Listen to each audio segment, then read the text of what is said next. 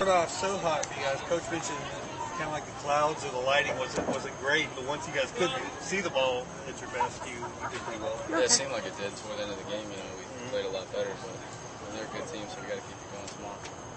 What um, what do you make of? Because you're obviously here last year, so Mental wins the Friday night game last year. Uh, oh, I'm sorry, you guys win and they win the series. You guys got to make sure that doesn't happen again. Yeah, sure. that was So huge last year. We lost a couple close ones Saturday and Sunday. You know, we don't want to do that again this year, so we got to bring the same intensity. Mhm.